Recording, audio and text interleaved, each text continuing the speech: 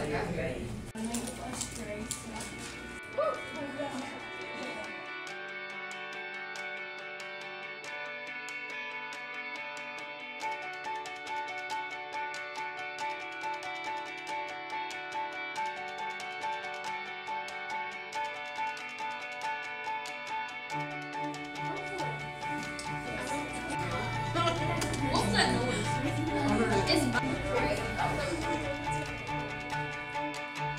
Phrase game-based learning, I think of learning with games.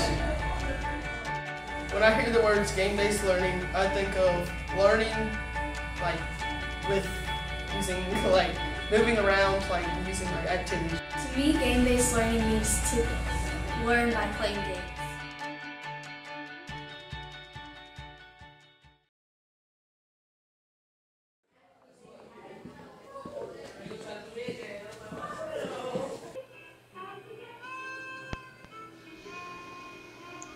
The history of games for learning started in 1969 when Sesame Street utilized games for preschoolers via Square One TV.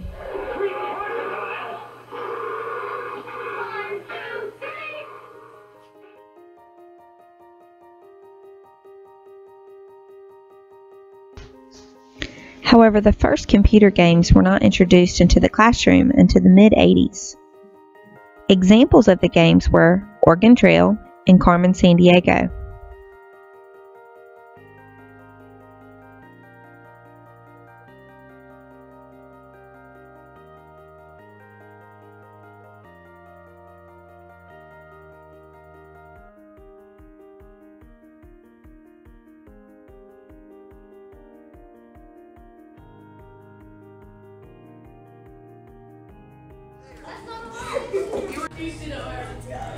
The use of games in the classroom offer many benefits.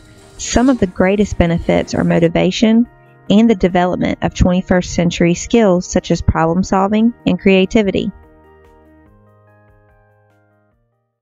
Various research studies have confirmed that the use of games in the classroom have proven to effectively engage and motivate students to learn. A recent study found that teachers who used games in their classes saw an improvement in student scores and skills.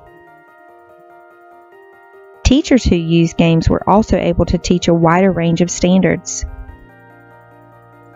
In addition to the benefits already mentioned, games also offer identity, interaction, customization, immediate feedback, well ordered problems, smart tools, and they assess performance before competence. But just like with any 21st century concept, game based learning has its challenges. The greatest challenge that game based learning implementation in the classroom faces is the lack of professional development teachers have received. Teachers have reported they do not feel adequately trained to effectively implement the use of games in the classroom.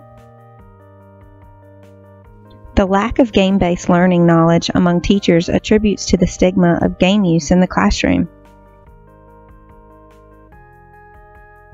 Although many teachers and administrators are skeptical of games for learning in the classroom, research implies there is solid evidence that games in the classroom come with challenges but offer various benefits that students would not be able to gain from a traditional class lecture or setting.